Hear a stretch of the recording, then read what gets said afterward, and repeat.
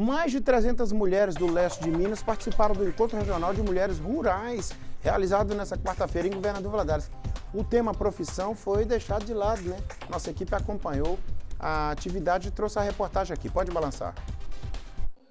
A segunda edição do Encontro Regional de Mulheres Rurais reuniu mais de 300 mulheres de cidades do leste de Minas no Parque de Exposições de Governador Valadares. Mas aqui, o assunto trabalho foi deixado de lado. O foco era elas promover essas mulheres, o resgate da autoestima, a valorização da mulher, trazer informação acerca da segurança da mulher.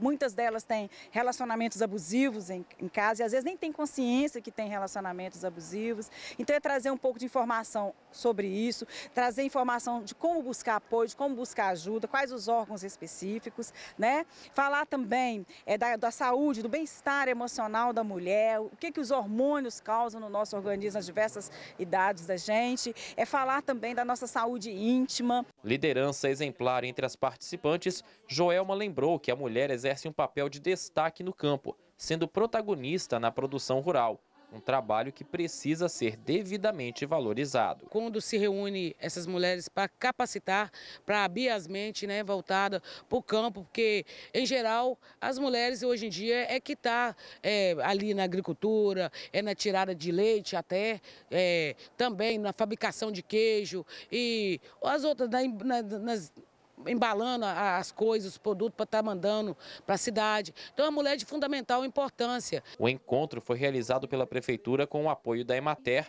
da União Ruralista Rio Doce e outros parceiros.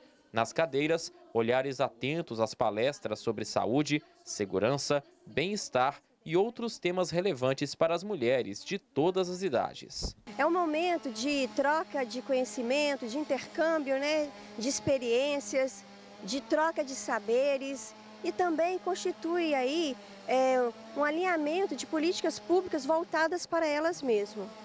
É muito interessante e importante ver como a autoestima delas fica elevada quando elas se encontram, quando elas percebem que são valorizadas através de mimos oferecidos a ela, através de uma atenção dedicada a cada uma delas neste momento. Entre as mais de 300 mulheres no evento estava Mariluce, Há 15 anos ela cria mini animais em Governador Valadares. Ela conta com alegria que o trabalho veio da paixão por miniaturas e que o encontro faz com que ela se sinta mais empoderada. Eu sempre gostei de miniatura, na minha vida toda. Tudo que eu tenho, eu procuro só miniatura igual, né? Então, quando eu vi um animal, eu falei, ah, meu Deus, tem miniatura. Então, eu fui procurando diminuir, diminuir, até que eu encontrei os menores de todos, os mini pôneis, as mini vaquinhas. E eu acabei me apaixonando. Então, assim, quando eu tenho oportunidade, eu vou aumentando minha coleçãozinha ali, né?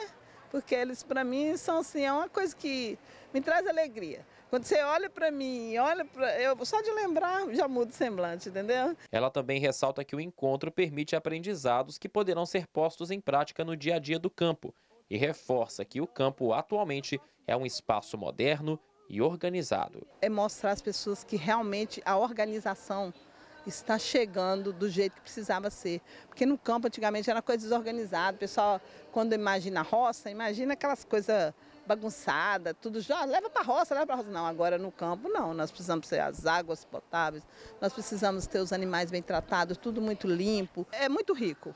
Eu digo que isso aí é uma coisa de onde realmente, se a gente pensar, a riqueza nossa está no campo. Viva o campo e viva as mulheres, né? Parabéns a todos pela iniciativa.